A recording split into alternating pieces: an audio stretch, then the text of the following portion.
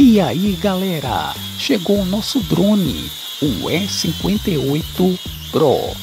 Fique aí até o final desse vídeo que a gente vai estar tá mostrando o nosso drone voando e mostrando também a qualidade da câmera do nosso drone.